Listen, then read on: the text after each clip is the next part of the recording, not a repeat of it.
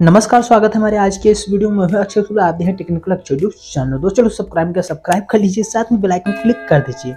आज के इस वीडियो में आप सभी को बताने वाला हूँ कि आप आईआरसीटीसी से ट्रेन टिकट कैंसिल करके अपना पैसा रिफंड कैसे ले सकते हो ऑनलाइन जी हाँ step by step live train ticket cancel करके और पैसा जो है वो रिफंड लेकर पूरा प्रोसेस जो है इस वीडियो में आपको दिखाने वाला हूँ, बताने वाला हूँ। अगर आप जानना चाहते हैं तो वीडियो हमारे हैंड तक ज़रूर देखिए।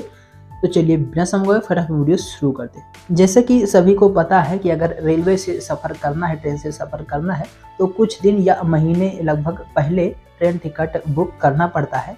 और कई बार क्या होता है कि हम ट्रेन टिकट पहले बुक कर तो लेते हैं, लेकिन जब हमें ट्रेवल करना होता है, उस डेट में किसी कारण से हम ट्रेवल यात्रा नहीं कर पाते हैं और हमें जो है टिकट को कैंसिल करवाना पड़ता है टिकट कैंसिल करना पड़ता है।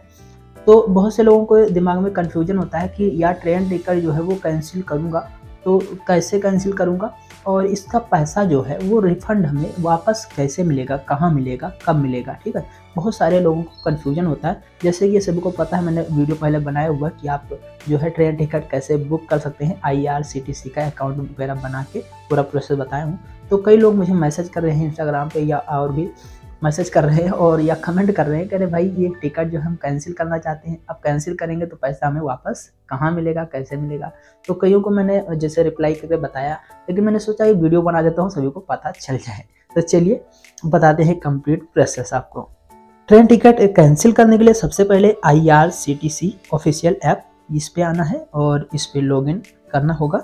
यहाँ रेल कनेक्ट जो है I R C T C rail connect open करेंगे। यहाँ लॉगिन का बटन दिया सबसे टॉप पर राइट साइड में लॉगिन पर क्लिक करेंगे। और आपका इसमें अकाउंट होगा तो यूज़र आईडी पासवर्ड डाल के कैप्चा डाल के लॉगिन कर लेंगे। यहाँ बायोमेट्रिक से भी लॉगिन कर सकते हैं। यूज़र आई डी कैप्चा नहीं डालना पड़ता है अगर आपने ऑन किया होगा तो। अब टिकट कैंसिल करना है तो यहाँ पे ट्रेन का ऑप्शन मिल रहा है। सबसे पहले ट्रेन पर हम क्लिक करते हैं और आपको दिखाते हैं अपना टिकट और उसके बाद यहाँ माई बुकिंग का ऑप्शन आ जाता है। माई बुकिंग पर सिंपली आप क्लिक करेंगे। अब माई बुकिंग करते ही आपके सामने जो टिकट बुक किया होगा, आपने वो दिख जाता है। यहाँ पे मेरा टिकट यहाँ पे देख सकते हैं।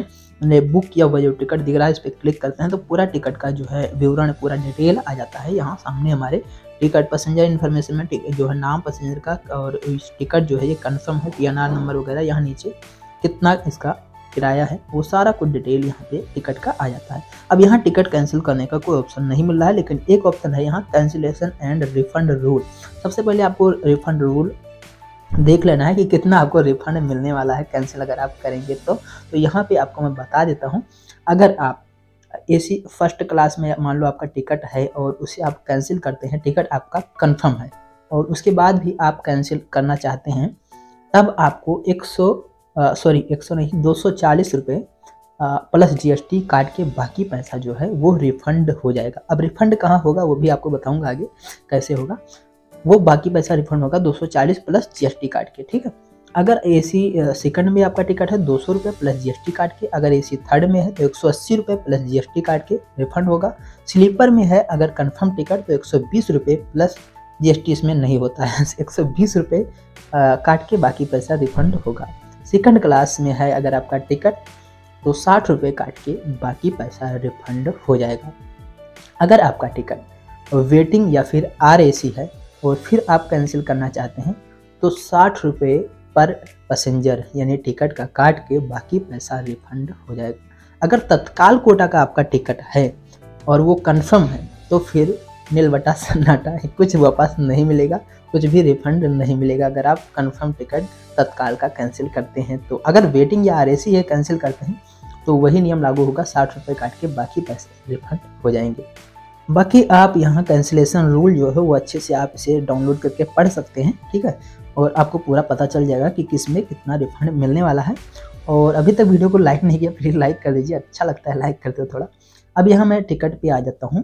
वापस होम पेज पे आ जाता हूँ। यहाँ देखिए कैंसिल टिकट का है ऑप्शन इस पर सिंपली क्लिक करना है टिकट को कैंसिल करने के लिए। उसके बाद टिकट को यहाँ ओपन करेंगे। A P N R number पर क्लिक करके। उसके बाद टिकट डिटेल आती है। यहाँ पे कुछ इस तरह से। अब पैसेंजर के नाम के सामने जो है चेक बॉक्स है, उसमें टिक कर देंगे। और उसके बाद यहाँ देखिए टिकट अभी कन्फर्म है। सीएनएफ लिखा हुआ कन्फर्म अब इसे कैंसिल करना नीचे आएँगे। यहाँ एक कैंसिल का बटन मिल जाता है। कैंसिल लिखा हुआ अब इसके ऊपर क्लिक करेंगे, उसके बाद ये कन्फर्म कैंसिलेशन आपको करना है कि हाँ सच में कैंसिल करना चाहता हूँ। और इस पर कन्फर्म पर क्लिक करेंगे, अब टिकट आपका कैंसिल हो जाता है। यहाँ देखिए स्टेटस जो है करंट स्टेटस वो कैंसिलेड दिखा रहा है, यानी टिकट कैंसिल कर दिया गया। अब इसका रिफंड देखिए, मुझे पच्चीस रुपये रिफंड मिल रहा है। और पच्चीस रुपये रिफंड इसलिए मिल रहा है क्योंकि मेरा टिकट जो है टिकट का रेट मतलब वो एक सौ पैंतालीस रुपये का था और स्लीपर में था कंफर्म था। अब एक सौ बीस रुपये कट गए तो कितना बचा? पच्चीस ही बचा। पच्चीस मुझे दे रहा है।